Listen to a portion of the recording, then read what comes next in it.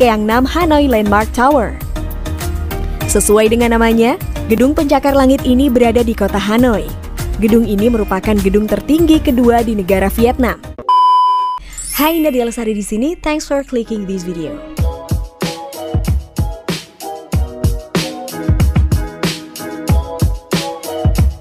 Apa kabar teman-teman?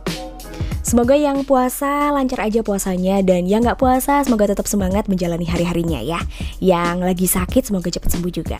Oke, di video kali ini aku bakal membahas how to market your voice atau bagaimana cara untuk kucing. Bagaimana cara untuk menjual suara kalian Karena ini cukup banyak juga yang tanya Yang sampai DM, yang sampai nginbox di Facebook, DM Instagram Yang sampai WhatsApp juga uh, Kak aku pengen belajar VO Gimana caranya dapat project Atau ah, Kak please ajakin aku dong Oke okay. Then I'll tell you how to market your voice guys. So before we get started, please hit the like and subscribe button and click the notification bell and you can also share this video to your social media. Well, apakah suara bagus aja cukup? Enggak guys, nggak cukup itu aja. Suara bagus dan skill voice over yang bagus itu adalah pondasi kalian. Tapi itu aja nggak cukup karena masih banyak step-step yang harus kalian jalani untuk mendapatkan project pertama voice over. Jadi tips kali ini aku tujukan buat temen-temen yang sudah punya skill VO ya. Jadi aku nggak bakal ngomongin basicnya gimana, cara belajar VO-nya gimana, bla bla bla karena udah sering aku jelasin di video-video aku sebelumnya. Pokoknya ini buat temen-temen yang sudah merasa suaranya oke okay, dan sudah punya skill VO, terus gimana biar kita dapat project voice over pertama. Jadi teman-teman ketika kalian sudah punya skill yang baik di bidang voice over, then it's time for you to make a portfolio. Jadi waktunya buat kalian untuk bikin portfolio. Nah, portfolio ini kalian bikinnya harus bagus teman-teman. Jangan bikin asal-asalan atau jangan bikin dengan alat seadanya. Misalnya, kalian rekam suara dengan HP. No, no, no. Atau dengan clip on aku nggak nyaranin ini ya. Kenapa? Karena klien itu butuh kesan pertama yang baik untuk akhirnya bisa meng-hire kalian dan ketika mereka sudah meng-hire pertama kali, biasanya akan berlanjut ke project-project berikutnya. Makanya di sini kita perlu membuat the best portfolio we've ever made. So, caranya gimana kalau kita belum punya mic seperti ini, belum punya audio interface, belum punya DAW dan lain sebagainya? Sewa studio. Nah ini dulu juga caraku teman-teman.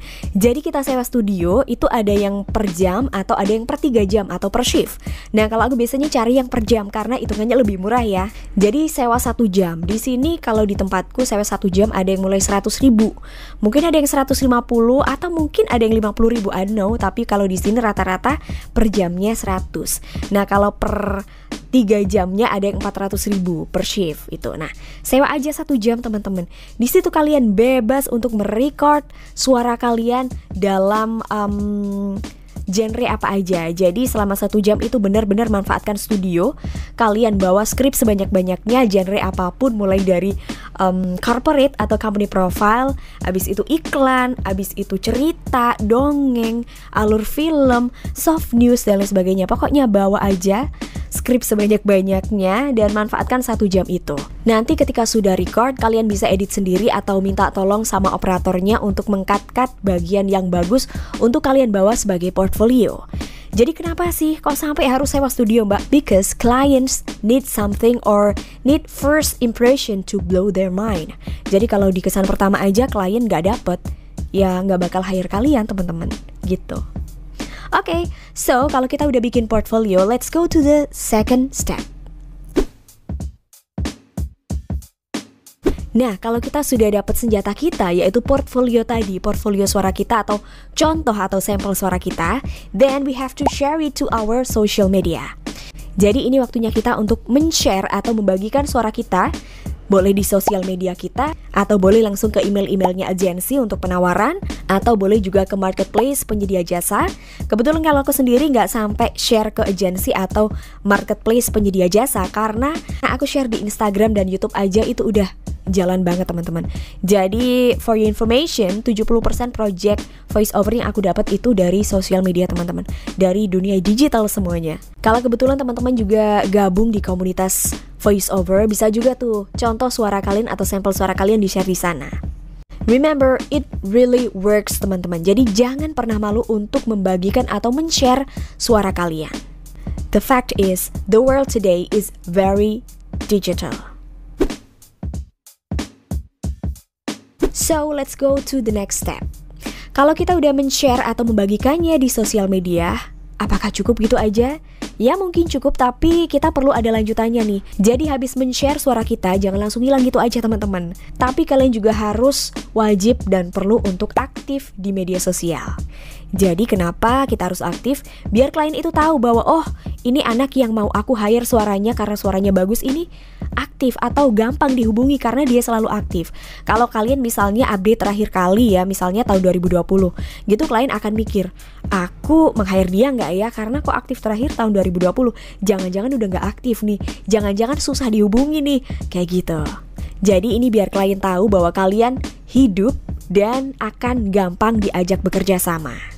Nah, aktif di media sosial ini salah satu caranya juga adalah dengan ikut challenge-challenge voice over. Sekarang banyak banget teman-teman challenge-challenge voice over yang di-share oleh komunitas komunitas-komunitas tertentu. Jadi kalian bisa ikut kompetisi-kompetisi seperti itu. Yang pertama itu untuk mengasah skill kalian. Yang kedua biar dapat nama juga. Jadi orang biar lebih ngeh ke kalian. Oh, si A ini ternyata suaranya bagus ya untuk voice over.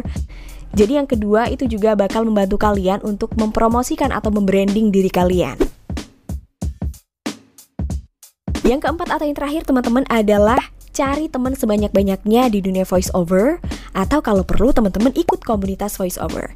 Itu akan memberikan kalian ide, akan memberikan kalian wadah untuk saling sharing dengan teman-teman yang uh, satu profesi dan lain sebagainya. Ini pernah aku jelasin juga di video yang ini. So that's how you make your first job in voice over industry. Dan thanks for watching this video. Semoga video ini bisa membantu teman-teman juga yang mungkin bingung gimana cara mengawali uh, project pertama di voice over. I'll see you next time. Bye.